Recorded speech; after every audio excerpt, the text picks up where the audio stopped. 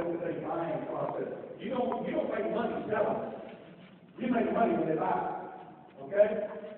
The product is in the mind of the buyer. It doesn't matter what you do, it matters what the prospect thinks you do, and what you and your product can do for them and their company.